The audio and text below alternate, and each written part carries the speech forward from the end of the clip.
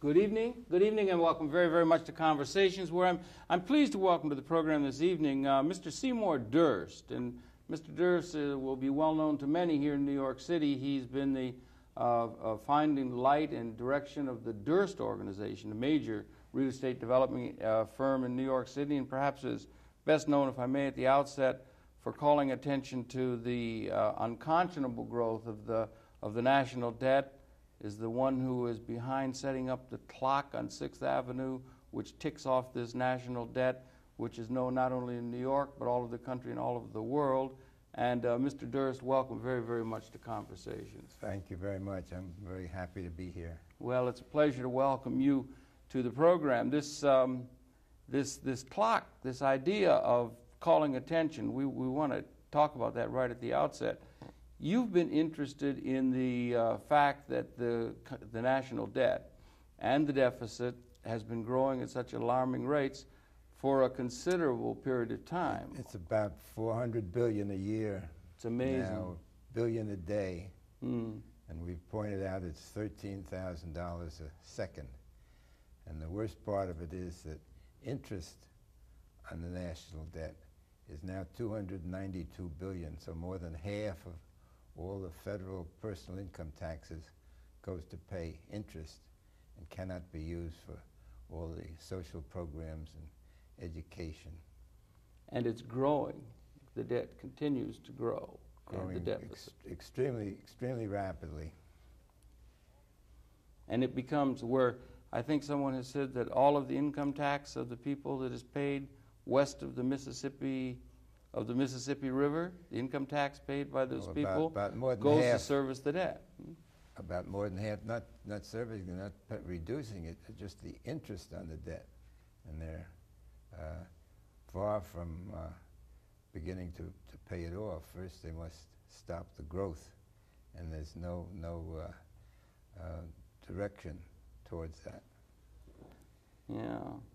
And this has been this has been growing. I wonder from your perspective, or maybe we, we, we do want to zero in on this. We'll be talking a great deal about that.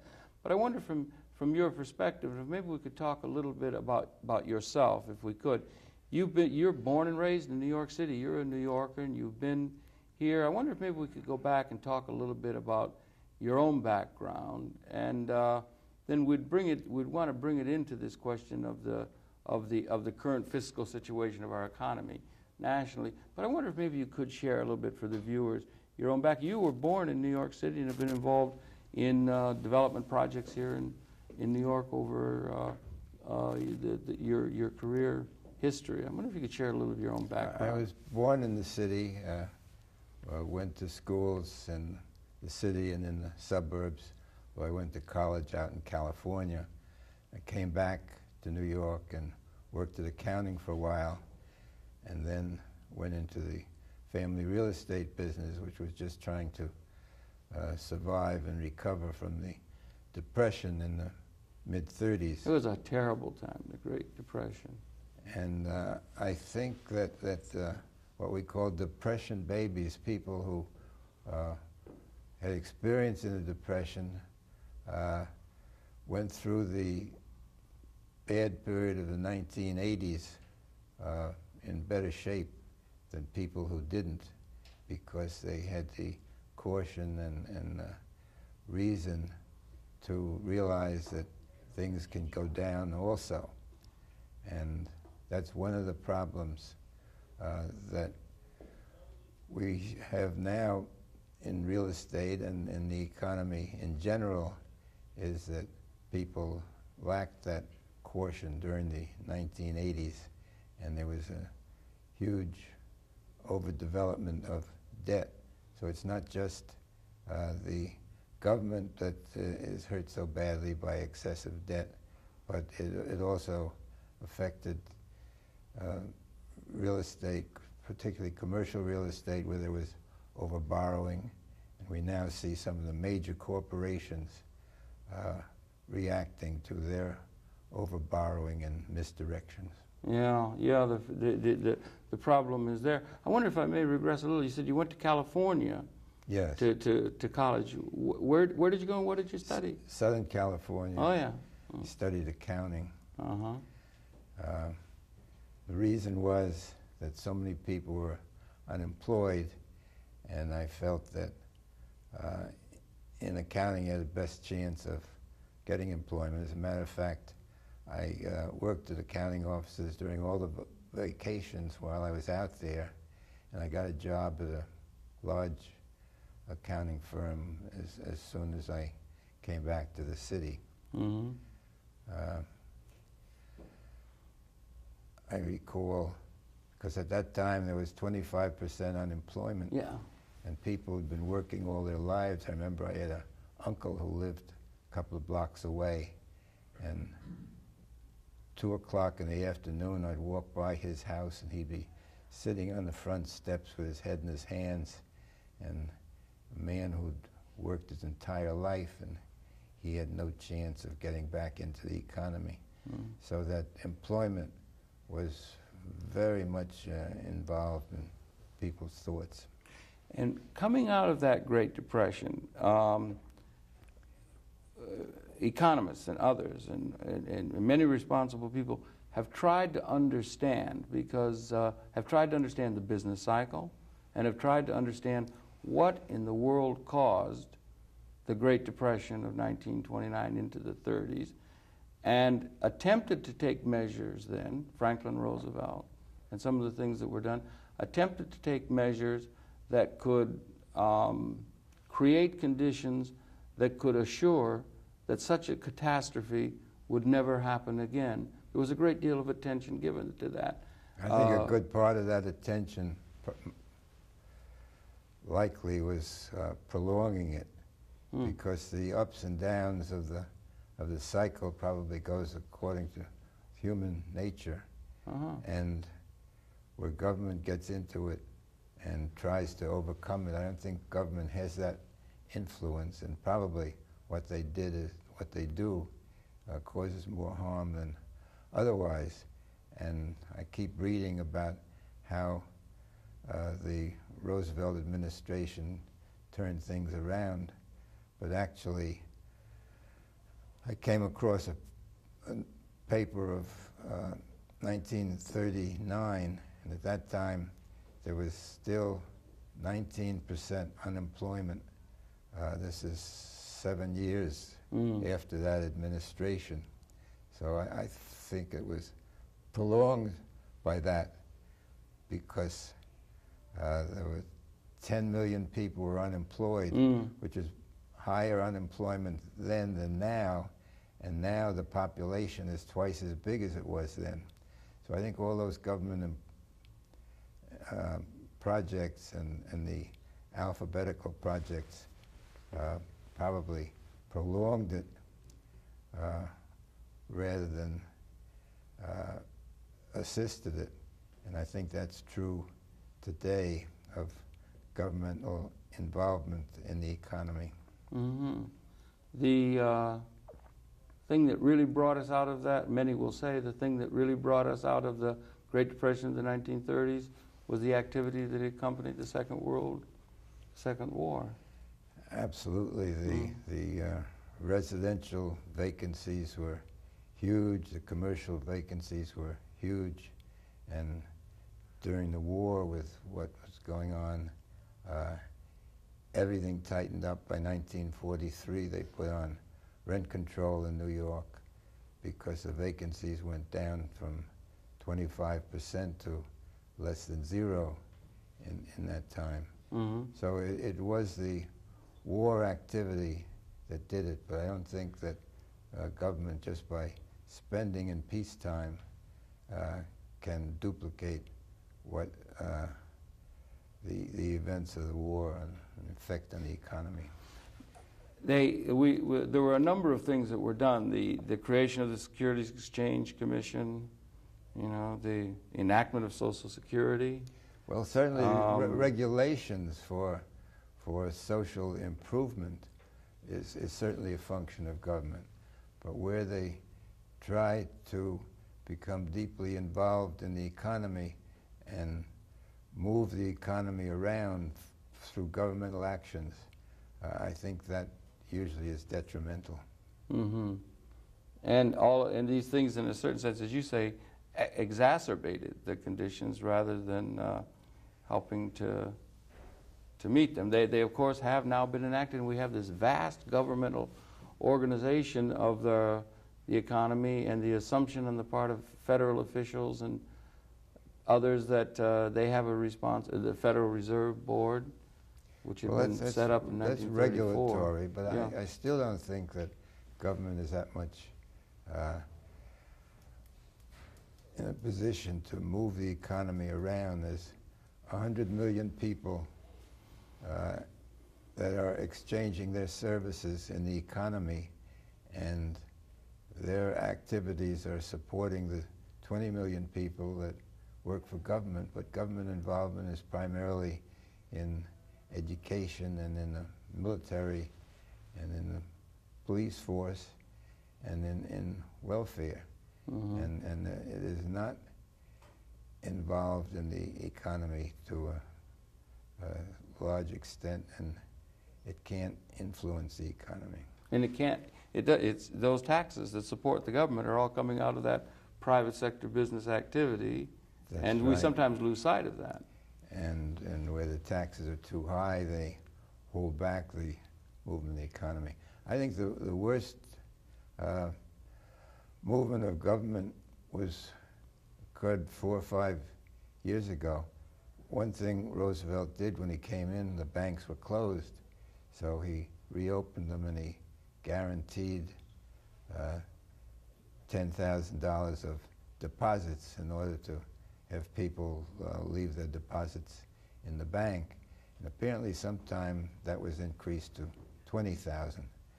But four or five years ago, uh, there was a major uh, legislative movement, and one House of Representatives, wanted, one House wanted to increase it from 20,000 to 40,000. The other branch of the legislature was, was not uh, planning to increase it, but at 4 o'clock in the morning, somehow they guaranteed $100,000 of deposits. And I think the result of that uh, is, is largely responsible uh, for economic problems today because the banks, without that risk, attracted huge amounts of deposits. And then they had to find out what to do with it. So I notice in, in real estate, where it used to be that uh, you would value a property at $100,000 and the bank would say, well, it's really worth 80,000 and we'll, we'll loan 60,000. Instead of that, you would say 100,000 and the bank would say, no, I think it's worth 120,000 and we'll loan 150,000. Mhm. And anybody with any sort of plan or idea, the bank would just flood them with money in order to get rid of these excessive deposits that they had. Knowing that they were going to be backed up by the government if there were Well, they, problems. they had the money and they, they had to lend it. They had to Mhm. do something with it. They were paying interest on it, so they Mhm. had to move it out. And, and uh, so much real estate was built that shouldn't have been built, but only built because uh, this excessive lending. It's the developer who was taking no risk because he didn't have to make an investment anymore.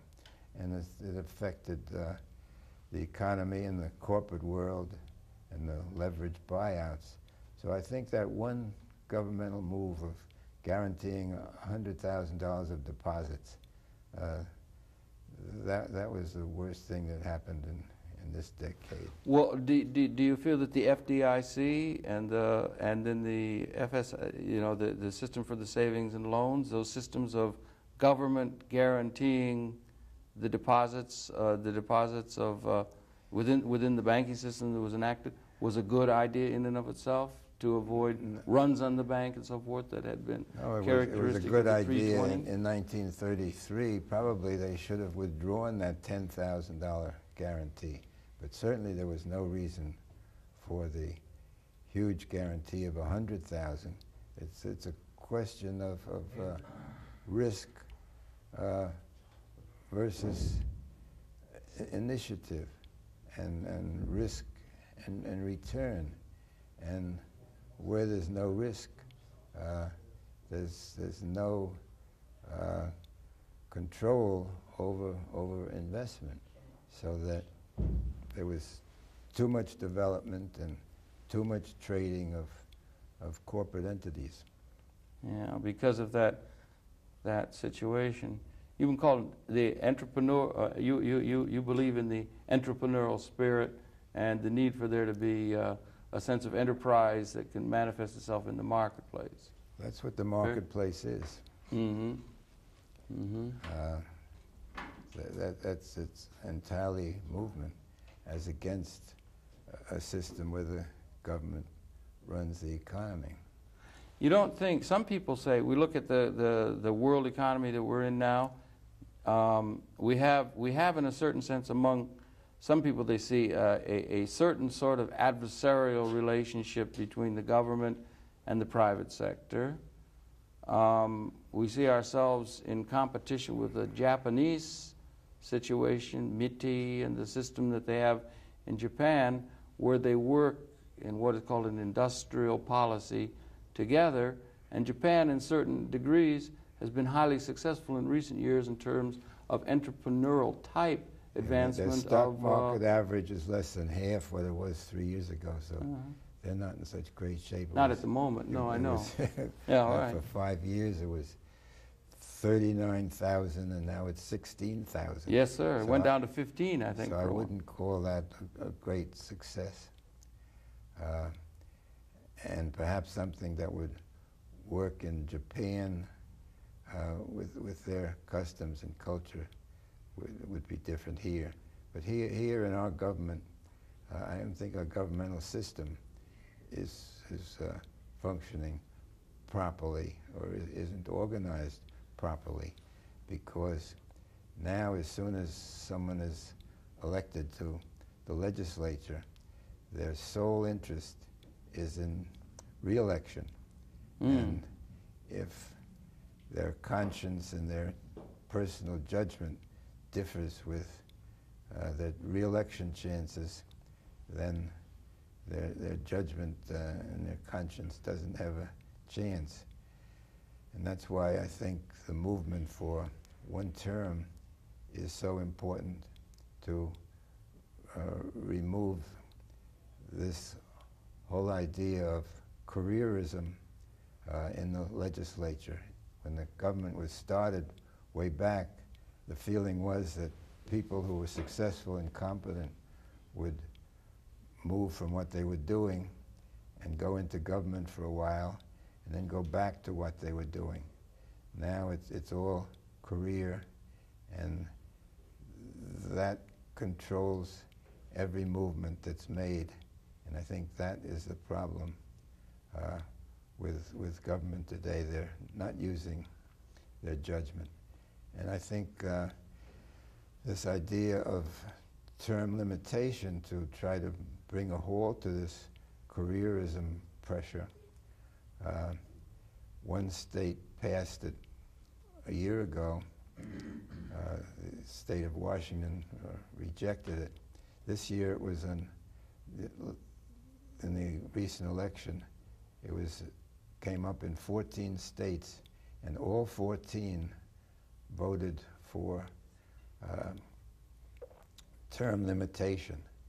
And this was despite great opposition for it. There was an organization that was pressing for it, and they said of the 14, they thought eight or nine would accept it, but some would not because uh, there was such lobbying against it. But actually, all 14 passed it, and some by very wide margins. So I think there's a growing realization of the misdirection, misorganization of our governmental system and the, movement towards term limitation. It would really take a, a constitutional amendment to bring it about, but certainly there are now 15 states that have uh, enacted laws as a result of popular votes. Yes, and this, this would reflect a sense on the part of a great number of people within the society. It became manifest in the last election of 1992 that there were vast numbers of people who felt a sense of, um, I don't want to know, alienation perhaps is too strong a term, but disconnectedness or a sense of being left out of the governmental process. The phenomena of uh, Mr. Ross Perot uh, finding great numbers of people who supported him. Earlier than that, there was an insurgency of, uh, within the Democratic Party of Jerry Brown, who had a great number of people who took this view that the government has been established with incumbency rates of 98% and these professional people. But there was a sense of being left out of that political process by a great number of American citizens. And uh, as they watched again the debt growing and the deficit and these problems which weren't solved, Somebody- and it's still there, festering within the society. Somebody pointed out in the New York State Legislature that more incumbents were indicted than were defeated. But uh, I, I think the, the, pub, the public is, is uh, finally uh, becoming involved, which is not their custom because of, of uh, conditions. And that, that's really what it takes for uh, such public involvement. When we, when we uh, erected the debt clock, it was about three years ago, it was on Washington's birthday, Mm. and I looked for a quotation that would be appropriate. And the first one I found was that Washington said that great problem of the democratical system is that people don't feel until they see, and then they're moved to action. And uh, we are now reaching the level where the public is is feeling and seeing and uh, is trying to exert themselves and improve the direction of government. I see. They have to feel it before they begin to really react to the uh, to the to the appropriate government. Yeah, I think they're they're And busy. beginning to- they're busy with their own affairs. Yes, They of course. Yeah. Don't really become involved un- until it's hurting them. and it is hurting. Uh, we've always had people within our society who have been hurting. We have had uh, inequities within our society, as all societies have inequities and so forth. But it's now getting to be where there are great numbers of people who feel not only hurting, as you put it, uh, one large reason for that being this uh, out of hand deficit and, and debt problem. And so forth, but it's hurting to the point where they are not only, let's say, our least advantaged people, but also people within what had been our middle class and other kinds of people are feeling this, that there are structural problems that have to be addressed and aren't being addressed by the, uh, by the, the day-to-day and uh, business as usual political debate and activity. a larger proportion of people are affected. And, and they're realizing that uh, perhaps more than a democracy, we have a lobbyocracy, and the legislative bodies Lobbyocracy, that's an Yeah, interesting uh, term. Are A plutocratic lobbyocracy, do you are, think? are reacting to the, to the lobbies. Uh, I- just saw, came across a list of the uh, lobby representatives in Washington. It Mm. was just amazing. It, it covered a, a full page in, in fine print. And, and uh, they are the ones that, that uh, controlling the government rather than the voters. Yeah. And you, uh, a lobbyocracy, I think that's a term that should be perhaps picked up. You've had a number of them. You use these quips very often. You have little things that you've, you've put, you've taken out little ads, and I wonder if I could show one here while we're talking about it. It was this ad, which just was in the January 25th, 1993 edition of the New York Times, quarter page ad. Let's see if we can't get the camera, give them a second to come in on that. But this is an ad that you took out. That's a considerable um, um, advertisement to take out. Well, actually, it was an advertisement of letters that I wrote to each congressman that was were delivered to each congressman, and Mhm. I tried to publicize it Yeah. with the ad, and it, it showed that uh, the debt was now coming very close to the to the uh, federal debt limit. Uh, the, they call it the permanent debt limit, except they've changed it 50 times. Permanent, I, I mean to get a list of it and see, but it's just about 50. And the last time they increased it was up to 4 trillion, uh, about 200 billion, and it's about 60 billion below that, and it re- usually increases about 35 billion a month. So in about two months, Congress is going to have to reenact it and probably go over 5 trillion for the debt limit. Amazing. And that means that interest will be absorbing that much more of all the federal income taxes. Uh, so the letter to the congressman stated that that uh,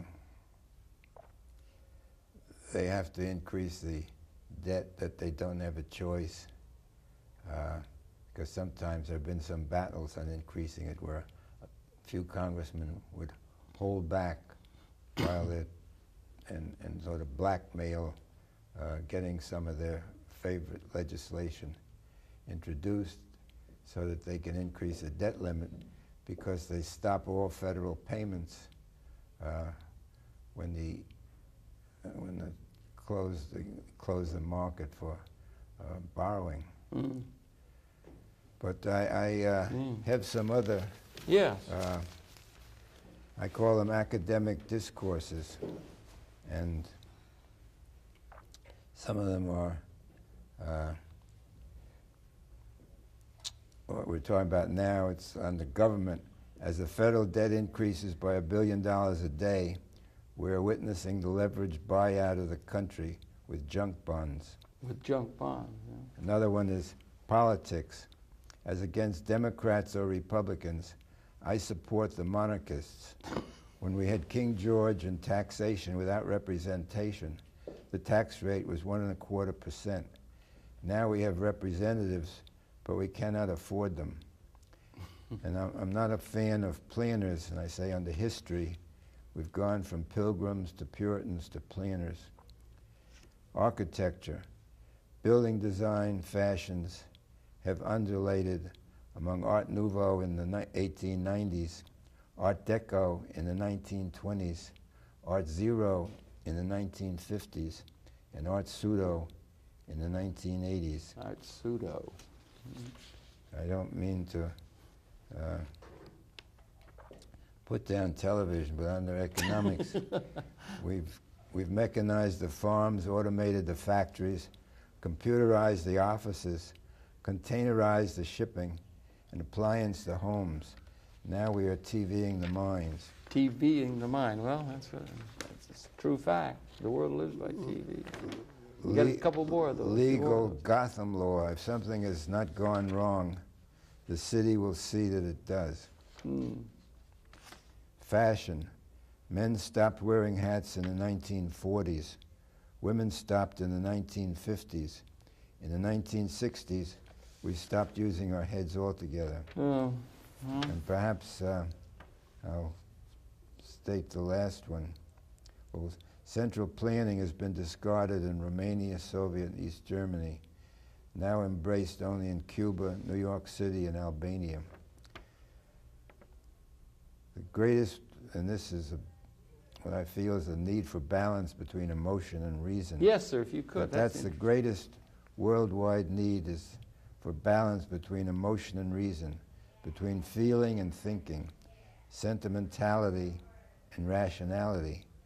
Emotion provides the motivation, reason provides the direction, the power and the steering. One cannot steer with the accelerator. Without thoughtful direction, the most humane effort will lose its way. And I think That's Mhm. what is needed is this balance. Instead of a balance today, I think we're about 93% emotionalized in our thinking and direction. We're emotional. How we're, we're emotional? Is this on a national scale? You feel this way? International scale? World scale? Hum, uh, uh, as far as the city of New York is concerned, uh, or that certainly, certainly, as far as the city of New York is concerned, Yeah. and I, I know some people, and I've said that they're guided 117% emotion and minus 17% reason. But uh, I think so much we have such housing problems, and we have so many minor uh, efforts that we make that makes the housing situation much, worse. In the building plans and the uh, environmental limits and there, there needs to be a, a uh, also a balance between uh, the the cost benefit balance that's referred to uh, is the is the cost much greater, far greater than the benefit, and, and some of the efforts that we need, need and use in our regulations. Planning in, interferes uh, to, to such a great extent that there's a terrible, terrible shortage of housing, which affects all sorts of things, the economic and social directions of the city, and yet they keep bringing obstructions to expanding the housing supply. Last year there were 6,500 uh, new housing units built in the city. In the 1920s, uh, they built 90 and 100,000 units a year. And the housing in New York is, the median age is three times the age of the median age nationally, so that we're losing uh, housing very rapidly and have all sorts of obstacles towards uh, renewing it. one, of the one of the principles, well, we, we, we see the homelessness, see Yeah. the- and we're influenced by uh, the emotional uh, effect of, of uh, seeing people on the street, but the shortage is actually about 600,000 people, according to uh, the State Housing Department.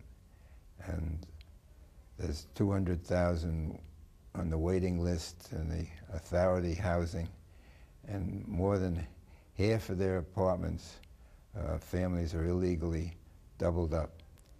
And there's still 200,000 apartments in old law tenement buildings that were declared unfit for habitation in 1901. So the, the, this is the major housing problem. And uh, as I mentioned, there are all sorts of planning and various regulatory interference with overall housing development. And it's only, the government only gets involved in uh, areas that are, have heavy emotional impact. Well, emotional impact that we've, we, some people have said that uh, back again to this, uh, you know, let's say take the, back again to the days of the Great Depression where there were things that were being done, or uh, how, what responsibility does the government have to uh, help establish a social order that is going to be able to address itself to the needs of the less advantaged people within the society? Well, Will the there's a very- invisible hand of the market serve all uh, best in your view, or is there a role for no, we're, we're, public we're- education, public uh, involvement, well, in public things particularly for some of the less advantaged public? and we've had the government involved in housing for 50 years. It's uh, been accepted that where there's not uh, adequate housing, adequate supply of decent housing, government should be involved. Uh, having made that decision, they, for 50 years, they've been going in the wrong directions. And they say, who should we build it for? Uh, or you build affordable housing. And there's only 8 or 9% of the population that can afford the cost uh, and support of new housing so that you can't build affordable housing. We have these terms of affordable for whom. Mm. But if you had, if there's an inadequate supply, mm. then people are going to be ill-housed and they're to, and they're to be, and they, and they will suffer. And the need is an adequate supply, so that the government's effort should be directed towards expanding the supply. Well, if, isn't there also a problem that you have a demand side? I mean, because if you if you if you have people that do not have adequate income in order to purchase that which the economy is capable of producing, and you have a shortage of consumer purchasing power of what can be produced by the appropriate utilization of human and capital instruments and so forth, isn't that also something that could lead to a misapplication or a, a lack or an under underutilization or of, uh, of our economic potential. You need a realization that the problem is shortage, and the solution is an adequate supply, is more production. Mm -hmm. If mm-hmm. there's an adequate supply, uh, then low-income families would have would have good housing. When they're and they and they say, oh, the trickle-down theory doesn't work. But it's a move-up reality. If you have enough supply, whoever moves into one apartment moves out of another one. Uh, the median rental of apartments is around $400 a month. That means that half the rentals are above and half are below. Uh, in, New, in New York City area, in, in, in the York, metropolitan area? In New York City area. Mm uh, why aren't they available for low-income families? And I pointed out, and this is one thing that's been quoted quite a bit, that uh, lots of low-income apartments are occupied by higher-income people. Mm -hmm. If you expand the supply, then the higher-income people would move up to the new apartments, and the low-income people would move into better apartments and out of their doubled up situations and, and uh, out, out, of the uh, welfare uh, armories and so forth. We, but if I, if I may say, we have a we have a situation where we have a great numbers of people. They just published uh, a figure. The New York Times published it, where between 1977 and 1989 during the rah-rah boom years of the uh, of the economic economic growth that the the income gains during that period that something close to 70% of the gains of that period in income went to the upper 1% of the population in the economy. We how, have vast... How do we, we, get away from housing? Like those numbers uh, are, are, different than what I read. But, but uh,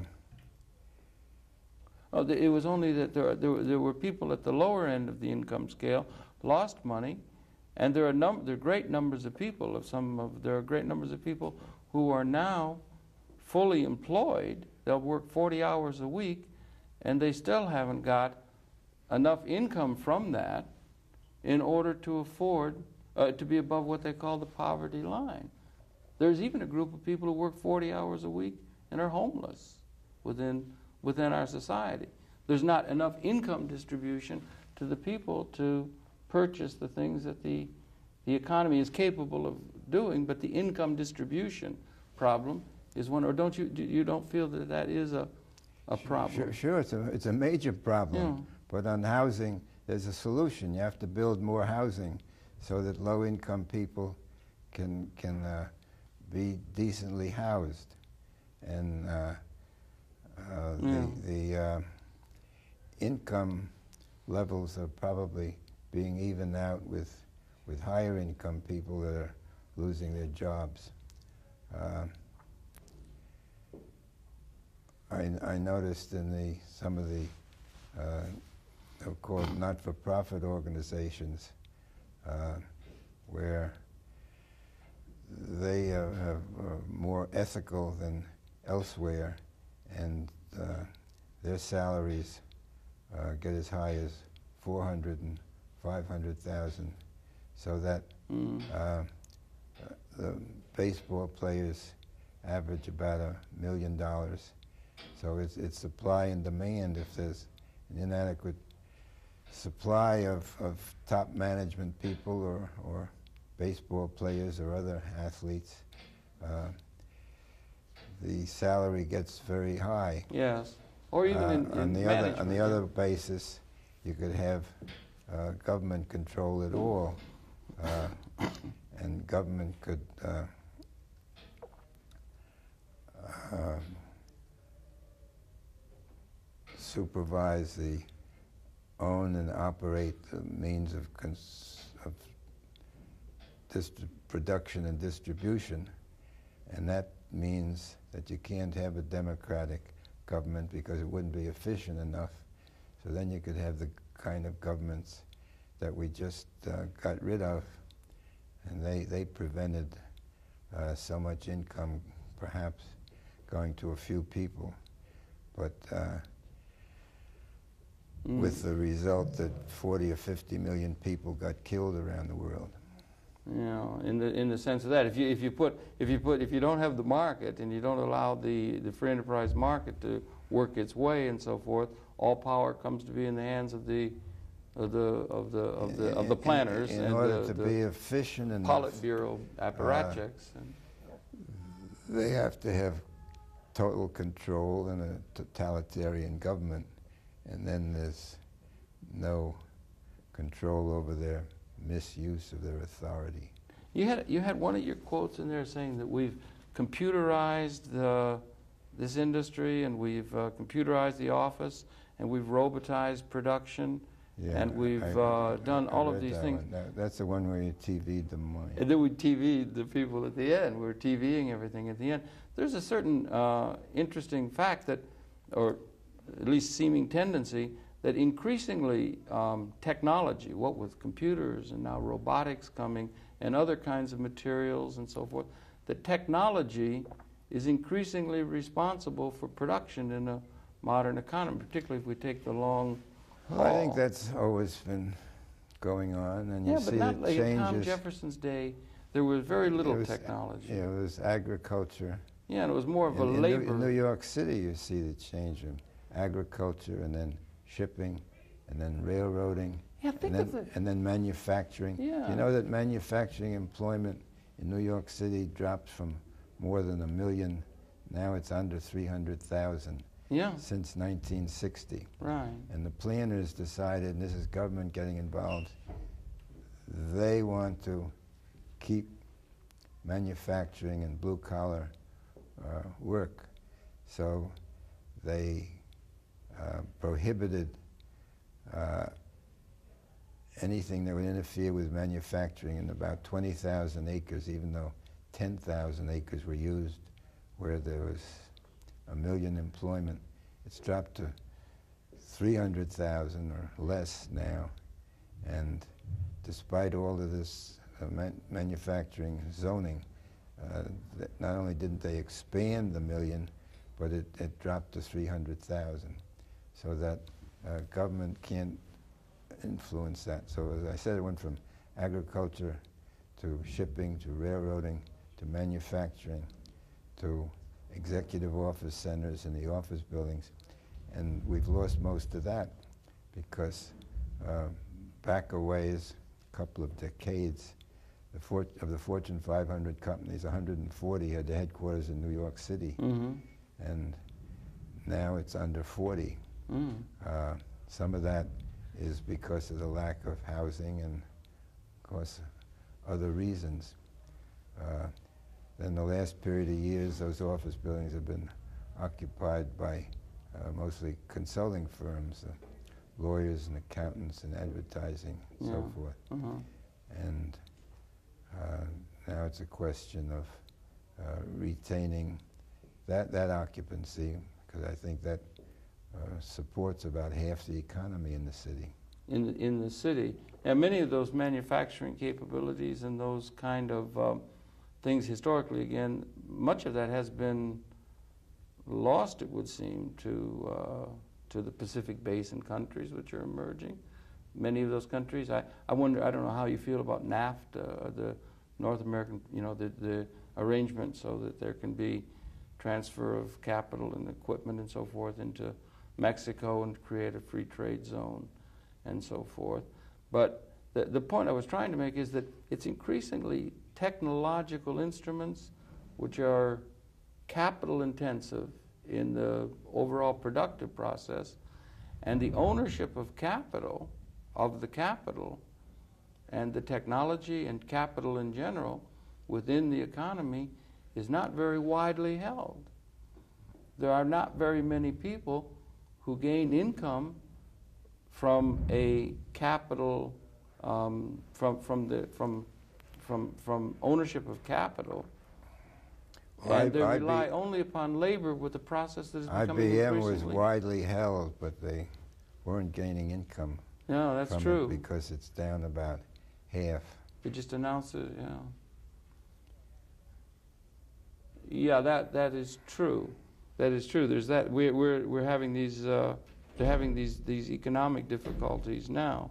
But I was just thinking of whether or not there wasn't uh, the need for there to be, just as there's an eco- uh, political democracy, if there is, if we don't want to have a state run socialist system with the, all the power in the hands of the government and so forth, if we don't need economic democracy and wider ownership of the the way, technological the way you do that is the government distributing it. well, it could So, be you, done so you're going, so you're going back to the other system. no, it- well, it, Either, either, Either that or- either it's one or the other. either that or it could be that you could have. Uh, I mentioned to you a little earlier they like Avis Rent a Car and some other companies increasingly are financed in a way so that the employees are increasingly becoming owners of the corporation and brought in on the logic of business finance in order to build up an ownership stake in a in a private property market economy to irrigate the economy and create the demand side to buy the things that the increasingly automated productive system of a private property market economy is able to produce. But again, to try and bring that demand side and allow Say's law in the name of the, of the in the language of the economists, to, to, to operate. I mean, if they have the stock, then, then they'll be wealthy. Well, not if they have the stock of wealthy. They will be able to gain income by something only so than how their do, they, labor. how do they get the income from? Well, they have um, by having eventually building up the same, putting available to the uh, to the employees instead of having the logic of business finance being where you make an investment that will pay for itself in a reasonable period. But the investment is in stock, Mm. so that so that you feel that if you distribute, if you give them stock, that that will solve the problem. Well, if you give them ownership of plant and equipment. Well, isn't that in the stock? They're corporations, Yeah, in and the ownership is is stock. Yes, sir. Right. Right. You have stock, which is embo- which embodies productive, technologically oriented, productive capability, and the people who own the techno- the the stock or own the capital instruments in our economy. the stockholders. are the stock holding people within our society are relatively small in number. The very few, most people gain income for life's purposes by having a labor relationship or a job to a productive process that's increasingly becoming technological in its real means of, of production, if you can follow. I, I don't know, maybe it's a, a side, you know, it's a, Are we still on? Yes, of course. Yes. Yeah. But that's just a that's a uh, you know that's a that's a a question that uh, That's what they've been doing in the Eastern European countries is, is uh, privatizing by, by distributing uh, stock to, to the employee, employees. And that, that's their direction, and it's a very difficult process. hmm Well, but in the meanwhile, we here in the United States trying to deal with this situation have this tremendous problem with the uh, the growing deficit. Are you at all are you at all sanguine that given this, as you call it, a lobbytoc- lobbytocracy, in terms Lobbyocracy. lobbyocracy, I would have said, and perhaps I'm wrong in this, but I, I would have said a plutocratic lobbyocracy representing special interests of very, very well uh, placed, uh, well financed special interests control the Congress. It takes tremendous amounts of money to continue in that congressional uh, ability to stay in the Congress and so forth. That it is the people that have a great deal of money to contribute to that, uh, but they have this system that they're not going The to be economy able to, is based on investment, right? Yes, sir. And if people don't have investment, if, if these people that you want to spread around aren't, cre- aren't contributing investment, then where's the investment going to come from? Mm, well, the investment's got to come from the. Uh, now, I agree. with it. You have to have the invest. You have to have the investment capability. So the stock represents the investment, and the investment is essential for any, any uh, economic activity. Yeah. What? Uh, okay, but in any case, we have this. Lo- lo- how did you say it again? Lob- Lobbyocracy. Lobbyocracy. I think you've coined a term that's going to be able to catch on. But are you sanguine that they're going to be able to uh, address this problem of the reduction of the of the deficit uh, and the debt, or do you think that they will just take the easy course? Is there going to be enough political will to face I this think that problem? the best uh, direction there is is uh, term limit, Mhm. so that uh, they're, they're not influenced by the lobby. They're more influenced by their own judgment and, as I said, their own conscience, instead of uh, focusing entirely on their career. And uh, we've done that. People say, oh, you won't have competent people, but we've done that for the presidency, and certainly you need more competency in the, in the presidency than uh, in any particular one of the 535 members of, of Congress. That is true. Yeah. and and uh, we don't fear limiting the president. Uh, I think I I pointed out in in uh, one of those hmm uh, if I can find it.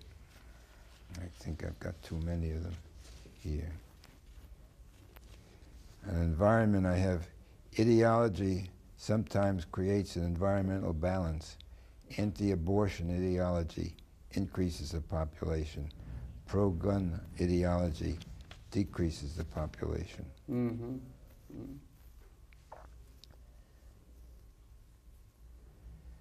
And this is one that won't make me popular, it's, uh, but it's labeled humor. The 18th constitutional amendment was prohibition. The 20th amendment was suffrage. Then they repealed the wrong one. No, that's not. That's a But that's a joke. that's a joke. You're right. We have to have some levity introduced, which you've done with a number of these quips that you've put on the bottom of the New York Times very often. People will Yeah. recognize it. You call that Yeah, I, I have, line. I have about a hundred of those bottom lines. And one of them that got some attention, it said that Karl Marx government didn't work in Moscow, and Marx Brothers government doesn't work in New York. So that was in the Times one Sunday morning, and the next day one of the papers uh, blew, blew those two or three lines up and commented on it. And I was on two radio programs that day. hmm So it all resulted uh, from a three-line ad. Uh, Those little things at the bottom of the first page of the New York Times. Yeah. but I think that that um, a good part of our problems are the misdirections of government, and and that exists to a greater extent in New York City than elsewhere. I think. Yeah, yeah. And you, you, you really have taken a, a, an initiative with this, with this debt clock, calling attention to the, uh, the unconscionable growth of the deficit. It's a thing that the country is grappling with now. Attention has been paid to It it. has attracted a lot of attention. When, when it first went up, they, were, they sent me 400 clips. There was a press conference for that, and there were about 40 television strips. But we had no, no, uh, no public relations association with it. And some, some nights, it's on three different television programs, that, that clock. And uh, I think you, you, you may have mentioned that television crews have come from Japan and Germany and That's right. uh, but it's on almost every night, and it, and it shows that people are interested in, in uh, tho- those uh, overspending by government, and I think the, the solution has to be a cutback in spending. I don't think uh, a little taxation that's po- politically uh, acceptable and, and economically acceptable, probably not at all. Uh, We'll do we'll, we'll, we'll do it. It, it. it takes a cutback in spending, and that's where you get back to the lobbyocracy. Yes, all right. Well, that's where it is. And I quite agree. He said in some of the pieces about that clock, there should be clocks. There should be one in Washington, and somebody proposed they ought to put a little wristwatch that running that off and present it to each congressman or congressperson who, and every time it would click a million, it would click or something to give w- notice of that. Some sort Well, there of has been some legislation introduced uh, to erect one in Washington. Uh, and um, beyond that, some people are trying to put one up privately. And there's a truck driver who keeps calling me that if we put one on his truck, he'll drive it around the country. okay, well, I, and, we might park it, park it in front of the Capitol and and uh, go through small towns. Well, it says a lot. It's there, right there in front of us all, and it's something that we all have to face. And I thank you really very much for having set that up and all your, your work. at That you had sent that out back in 1979. The the thing you've called attention to that over a long time.